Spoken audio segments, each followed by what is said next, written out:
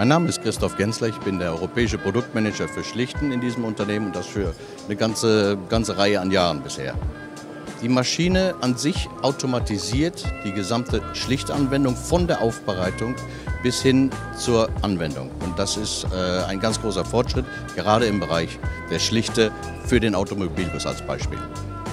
Das ist insofern vorteilhaft, als die meisten Gießereien nach wie vor ihre Kontrollen basieren auf ähm, sehr stark manuell orientierte ähm, Kontrollmechanismen. Und diese Maschine automatisiert das komplett. Das heißt, man kann einen deutlich höheren Grad an Genauigkeit, Konsistenz und äh, ja, Reproduzierbarkeit im Prinzip darstellen.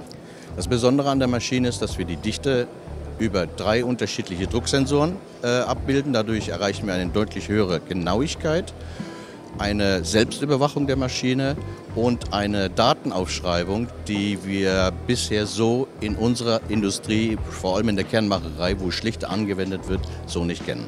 Besonders da, wo viel Schlichte verwendet wird, ist das interessant und wo ähm, die Schlichte durchaus auch dazu neigen kann, Fehler zu verursachen durch nicht korrekte Anwendung.